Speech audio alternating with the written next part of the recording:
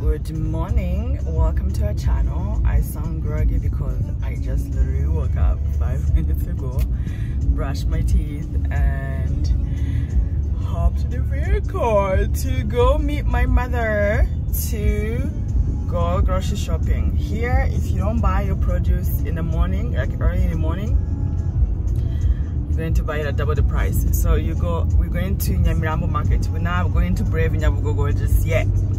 But I hope to one day go to Nyabugogo. Nyabugogo, you have to be there at 4 a.m.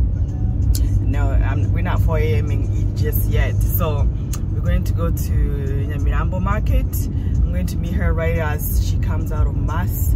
My mother, at 67 years old, she goes to mass every day, every morning, 6 o'clock in the morning. Um, yeah, so I'm going to meet her there and then we go grocery shopping in uh, the market. Hopefully I'll be able to film. If not, I'll tell you about it because sometimes people are sensitive about being filmed, you know, rightfully so. And you can be asking everybody at the market for consent. So I'll do the best I can to film at least the produce so you can see and prices of things. Uh, all right welcome to the channel. Thank you. Subscribe like and share and comment. Let us know how you're liking these videos or not. Hopefully you do.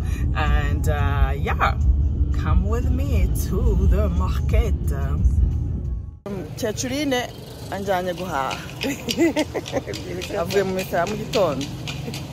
Nanjye mvuye kuryamira mu gitondo tugiye guhaha mu isoko ry'Inyamirambo it has changed a lot This is not how I remember it, but okay, let's go.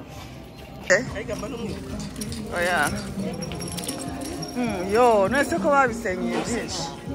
Hasi ahangaha niho iyo wagura imboga. Eh, ahangaha niho baguraga inyama ariko haracyasa kwa kundi. Mwaramutse neza. Abantu bose bakuze mu isoko.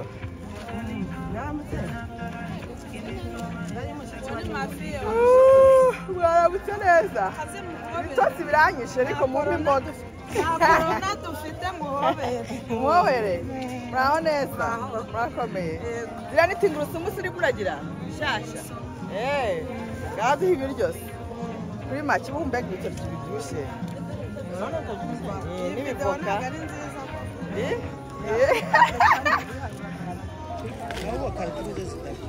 dore akaroka akasa Eh, muhako. ibitunguru n'ibyo by'umutuku n'iby'umweru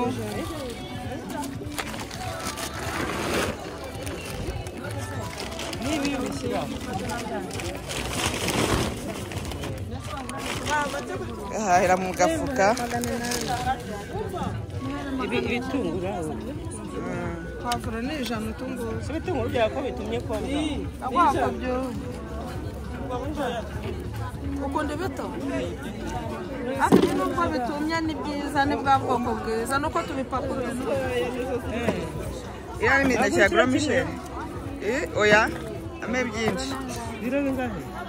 reka nze ndebe uko bingana reka ntabwo ngenzi kubara ngo ibiro iriya ni isombe hariya. Na dodo hariya. Ni izi dodo. Muri biro bingahe mashi ibihumbi bibiri. Na magana ane so ibiro bibiri hanyuma tungurusumu ni igihumbi irobo ni igihumbi? Eh mama. Hanyuma magi? Magi ni bibiri. Magi ni bibiri. Ah, ibitunguru by'umweru the white onions. Iby'umutuku ama uri gukurikira? Ah, intoryi ah, karoti? Okay sibyo se? Eh. Okay ubwo ni uko Imita- imitaja ntayo dutwara. hari. oh wayishyizemo Eh, ikiro kimwe. okay Nangahe? Imizi nizo nziza. izi mizi nizo nziza? Mm. ariko izi mizi atari zo nziza? zirakomeye. ese baba bari kuzitotora? Nyuma kuramo ibyatsi. Umuntu ungana nangahe basa? ibi ni magana abiri. Bingana rwose. So bitatu ibiti ibi ngibi ni bya magana atanu. Okay. Mamine, mamine wavuze amashaza. amashaza n'ibintu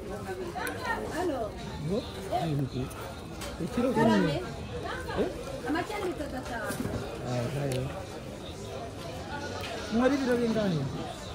Ah, kimwe bibiri mbese simona bitari byinshi wakoze? Cyangwa ufite ibindi Oya, ndabifite. eh okay. Urafite bitonoye Eh, ndabifite.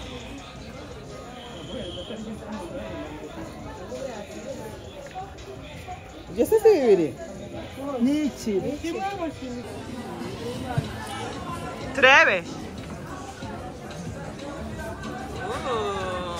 yego tugiye kubanza kumva uko imeze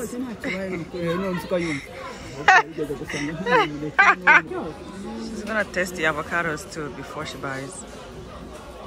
Effective way to make sure you buy the right thing. So ziraryoshye?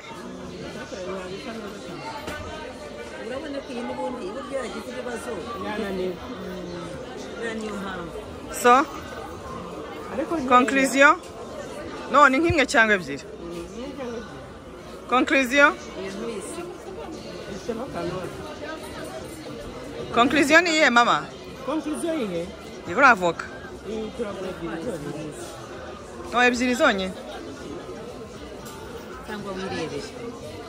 yihe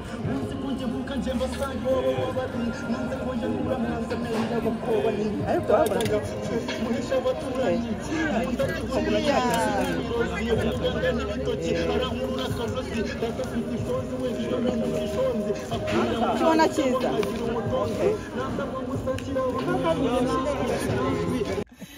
turarangije guhaha buriya ntitu- ni- ni- ntitusipendinze amafaranga nk'ahera cumi na bitatu gutanya bitanu. Bitatu magana atanu cumi n'umunani magana atanu eh, ariko munsi ya mirongo itanu.